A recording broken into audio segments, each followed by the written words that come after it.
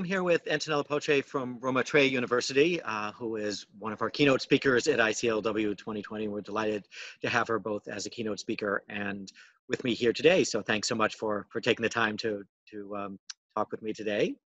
Thanks to you um, for inviting me. Yes, no, it's great. It's great to have you. And you know, you've you've done a lot of interesting work on critical thinking and on how digital learning can help people make better decisions, and that's um, always important and you know particularly critical at this at this time as we are speaking going through the pandemic. People have to understand what's what's what's true what's false and and you know there are real consequences to your behavior and and, and to the outcome. So can you speak to a little bit um, about the need for critical thinking and how you see uh, digital learning playing a role? Yeah, yeah.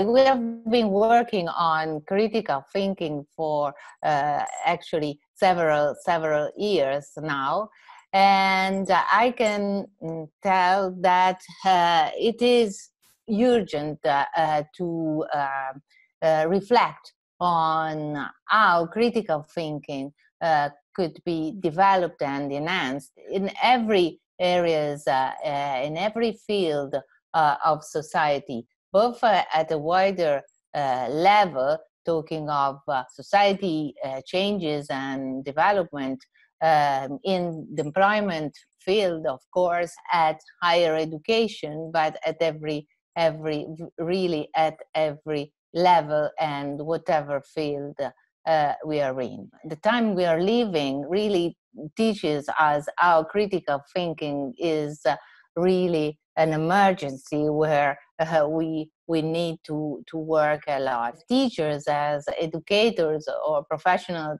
t- trainers, uh, we should take care about uh, the negative effects, uh, for instance, of uh, the information overload we, we are experiencing uh, these days.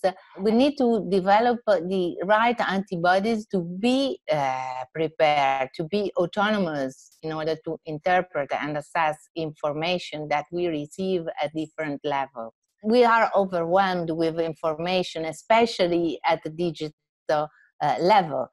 we have uh, uh, you know our our mobile phones with us all the time you know they are part of our everyday life. They, it's like uh, an extra uh, hand that we that we have with us.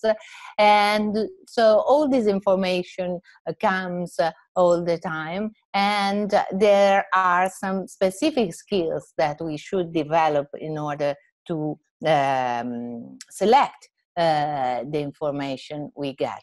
There's a difference in reading uh, what we get in, in the digital way or what we used to get through papers uh, and let's say more conventional ways of getting information.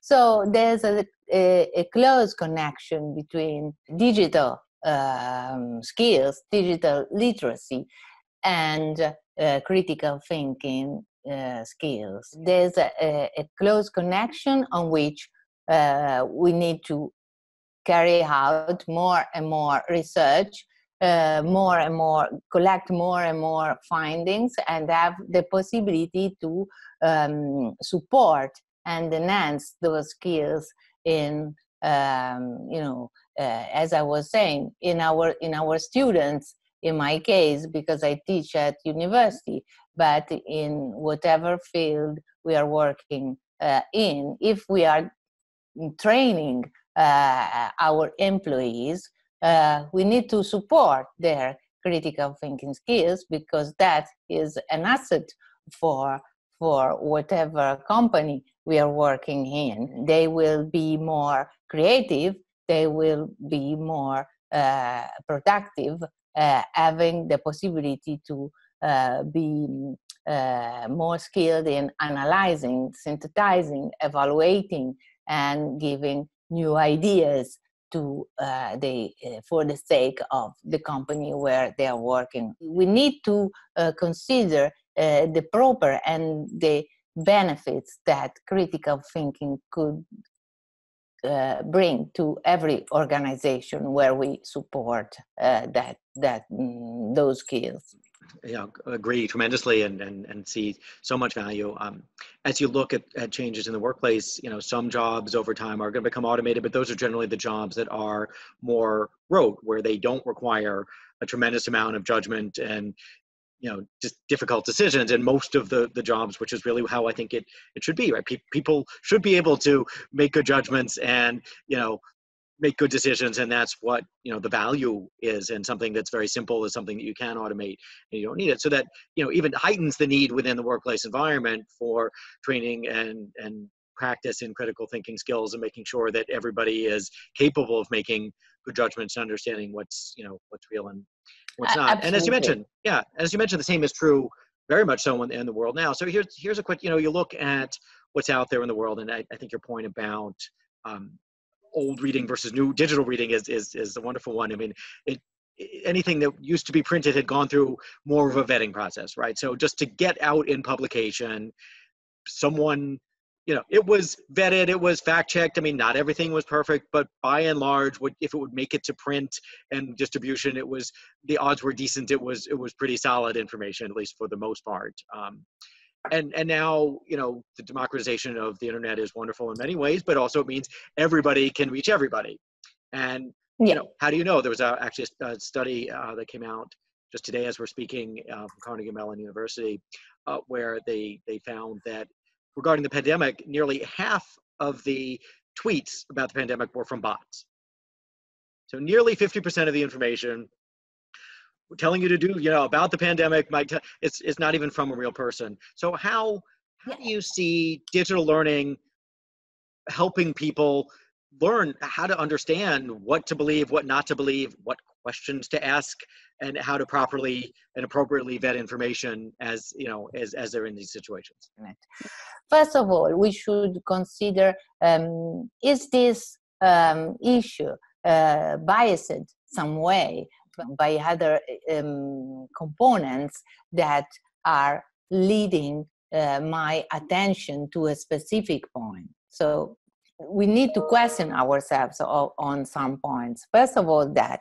And then, uh, am I considering all the evidence for such a statement? Which sort of evidence this, this piece of information is giving me um, in order to believe that, that, that information, to consider it you know solid um, are the arguments of, of the speaker of the, the, the author of this uh, uh, piece of information formulated in, in a clear way what we need to think um, is that 90% of the information we get uh, from the internet or you know anyway from the digital uh, digital dimension is uh, addressed to become viral.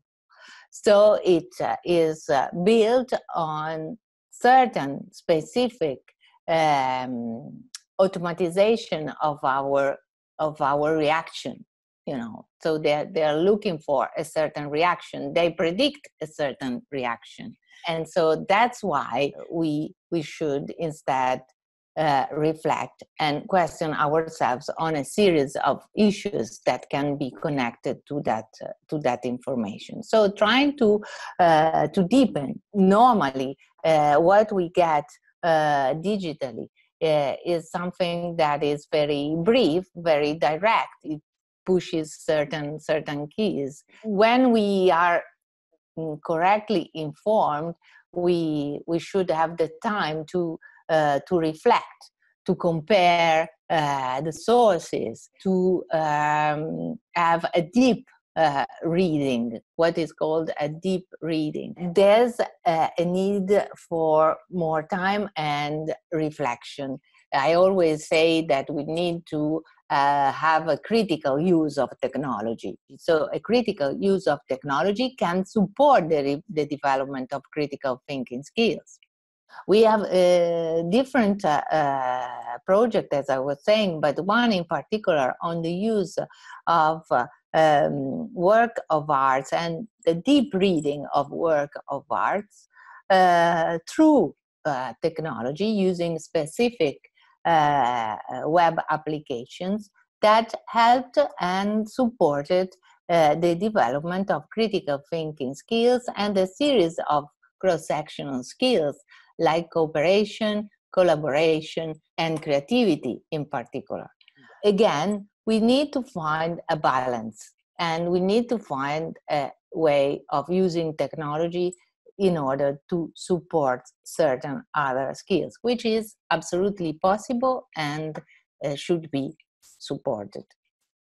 Yeah, no, I, I, I completely, completely agree. And, you know, I think if you look at the model of education that's still the most prevalent both in in schools and, and even in the workplace is the idea of, of lecturing or, or reading something and then taking a test on it and you pretty much memorize the information. It's not necessarily in context. It's not necessarily going to help you do a job better and it's certainly not encourage you to think. And, and you know, though that model really came about because the need to scale up, right? If you think back to the way earlier days people were doing apprenticeships, they would work directly with an expert and they would learn much more by doing and they would get coaching guidance and feedback and, and sort of the you know the ways that the educational research tells us are the right ways. And when we had a need to train mass workers you, you couldn't really scale that up right? That's completely understandable. But with technology you can scale up right? So if you build an environment you build your app for people to learn critical thinking skills where they're practicing making analyses of things and get some some evaluation on that that that can scale up. You can have a million people use it or 10 million people as easily as you can have one person use it. And that's where technology can really be part of the part of the solution. And so I know what what are your thoughts now? We're sort of in an interesting time in both workplace learning and education. All of a sudden, everybody's forced to train and teach remotely, out of nowhere, unexpectedly.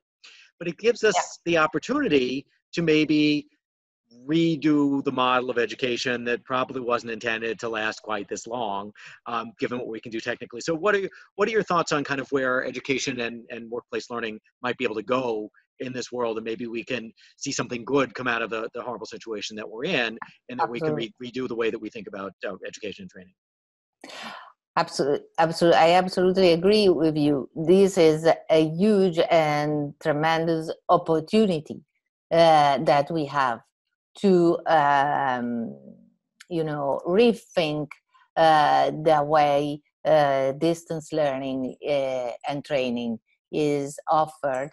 From a certain point of view, we have been forced to have this, you know, uh, rethinking and to revise our our uh, curricula uh, in in teaching and learning and in training. Uh, this revolution that we had to face in a very very short time actually had some positive uh, uh, effects. You know, I can uh, tell you about my personal experience uh, with um, a postgraduate training course that I that I chair uh, with my students in museum students actually uh, trainees in museum education.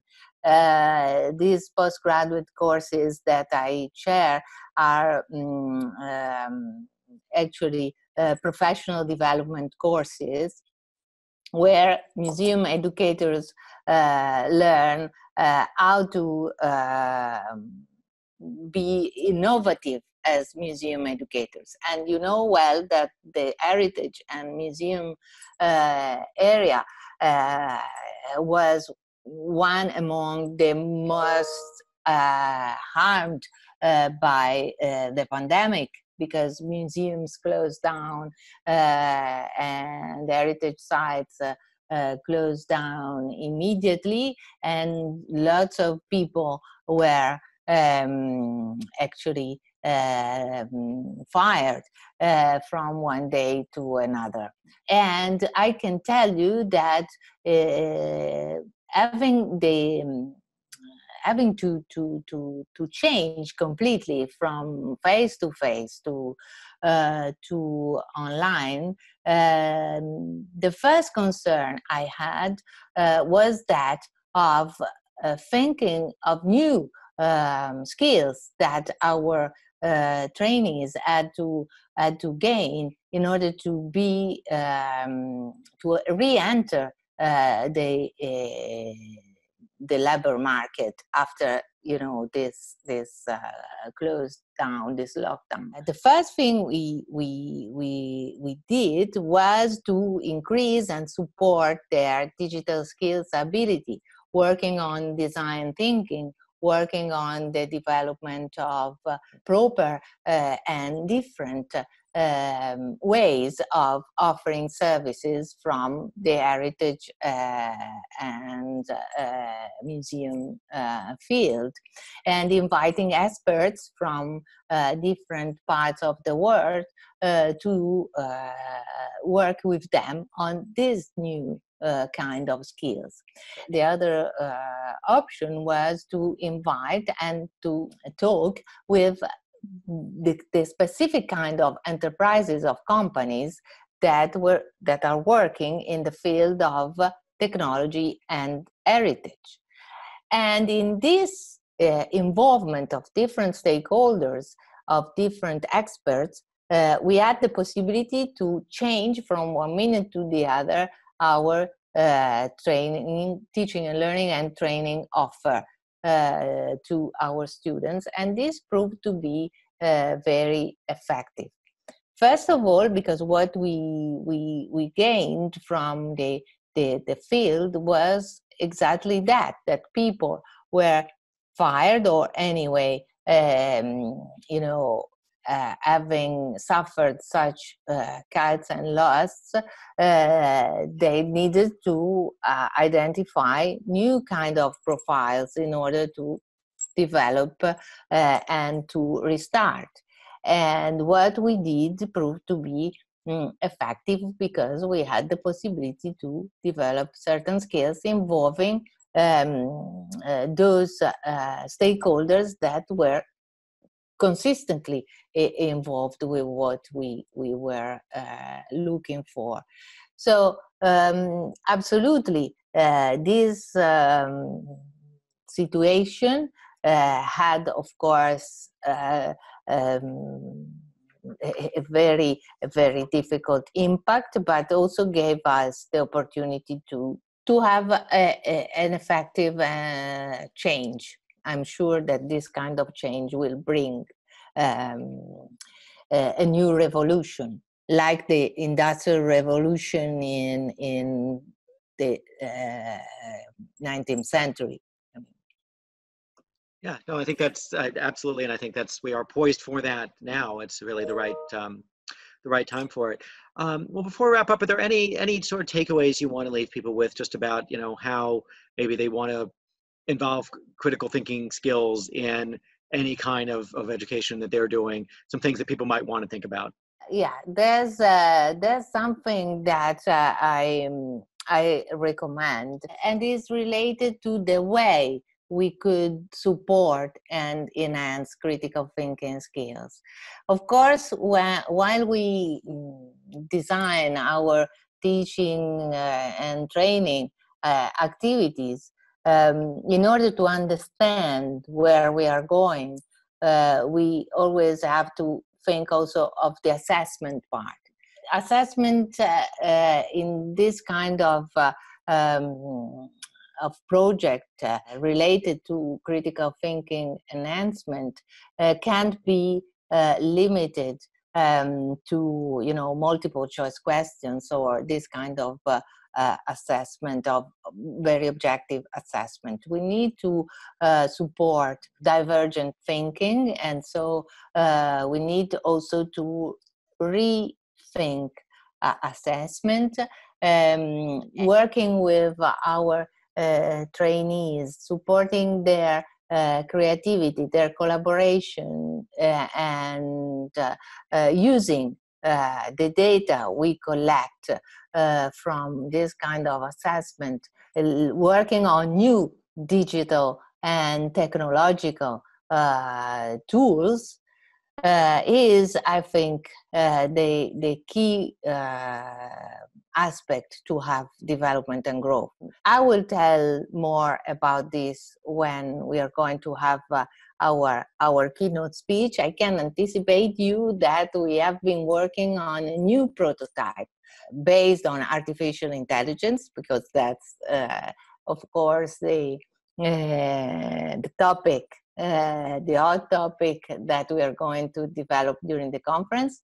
And so, based on artificial intelligence, we have been developing a new prototype that automatizes uh, the assessment of critical thinking skills through open-ended questions. Situations where uh, the um, the uh, learner can uh, show and exercise uh, their critical thinking skills.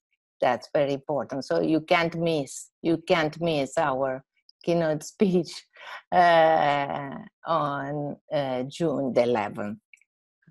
Okay, well, I, I, certainly would won't miss it. I'll be there to introduce you, and I, I hope everybody there. is there as well. I hope all of our viewers um, are, are there for this. Um, Angela, it's been wonderful talking with you. There's, there's so much to think about, so much of a time of opportunity, and and you're contributing so much to it. Um, really appreciate you taking the time to talk with me today. So so glad to be with you. Uh, my heart is uh, with you in New York, really, and as I said, uh, uh my only dream at the moment is to have the possibility to get on the on that plane and reach all of you in in New York City. Thank you. Hopefully, hopefully next year we'll be able to we'll, we'll do that again. So yeah, yeah, yeah, I hope yes. so. great talking. All right, thank you once again. All right, it's great thank talking you. Thank you. Thank you.